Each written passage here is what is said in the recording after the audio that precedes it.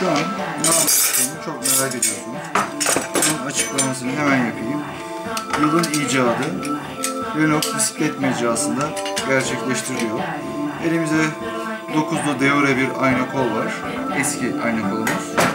Genelde büyük dişi kullanılmış, diğer dişler çok iyi durumda. Bu da daha sonra bisikletimizi upgrade ettikten sonra geçtiğimiz Olatek 2 sistem ikili ayna kolumuz. Büyük dişisi gitmiş. Biz bunu nasıl güzel bir şey hale getirebiliriz, nasıl XDR sisteme geçirebiliriz burada hep beraber yapmaya çalışacağız. Evet. Ayna kollarımızı vidalarını söktüm. Ben daha önceden kolaylık olsun sökmüştüm. Bozuk olan dişimi çıkarttım. Yani Renault bisiklet mecrası çalışmaya devam ediyor.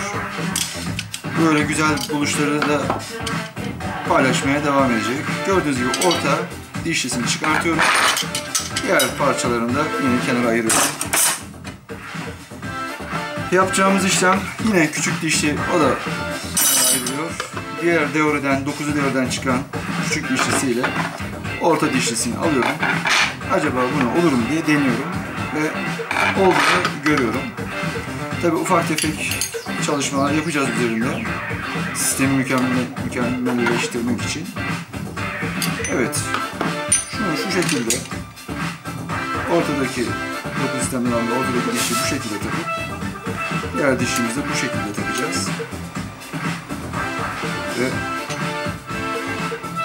şu şekilde biz de XTR bir dişi elde edeceğiz. Ayna kolumuz, yeni ayna kolumuz. Bütün her şey yerli yerinde. Delikler birbirini tutuyor. Sadece ufak tefek bazı yerleri taşlamam gerekecek. Yani gerek dişli sayılarını falan saymıyorum.